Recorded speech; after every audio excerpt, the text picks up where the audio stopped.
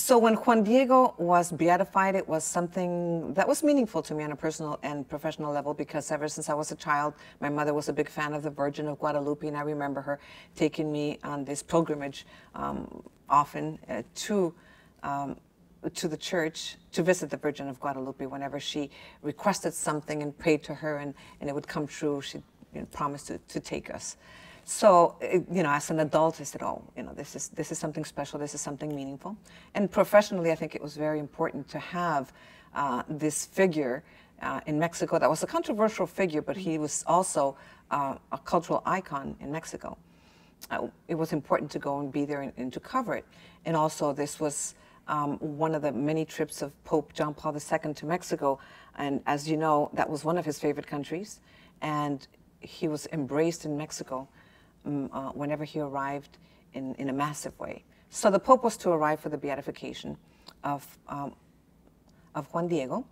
And we knew that during the time of his arrival, the Mexican government was going to take over and, um, and only allow uh, their feed and no one else could transmit at that time. And we were trying to do a one hour special live show with his arrival. So we pre-taped most of the things. We prepared, we did interviews, we did stories, and we were ready to go. As soon as the Pope would arrive, we would start our, our program. And he was scheduled to arrive at whatever time, whatever time it was. And we thought, okay, so what if he's late? We, we need a contingency plan. So we taped and taped and taped and had another separate tape that said, um, ladies and gentlemen, Pope John Paul II is arriving in Mexico, and here it is. And here he is.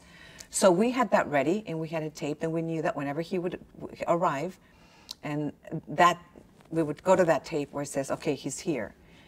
Um, well, time was going by and we were, we were already on the air. We had started our program and the Pope was supposed to arrive and he was supposed to be off the plane and five minutes passed and he wasn't off the plane and 10 minutes passed and he was still on the plane and he wasn't off the plane.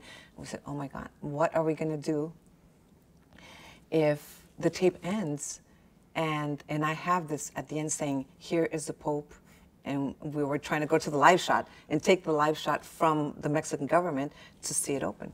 And it didn't happen, it didn't happen, and we were getting very, very nervous. And for some reason, the moment the tape ended, and I said, here's the Pope, the door opened. My, my producer and I were so nervous. I remember her falling to her knees, Marilyn Strauss, and she said, Thank you, Juan Diego. That was a miracle of Juan Diego.